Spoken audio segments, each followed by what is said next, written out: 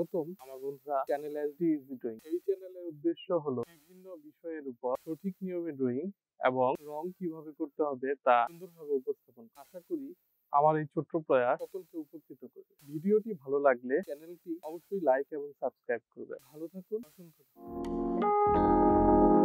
ধন্যবাদ।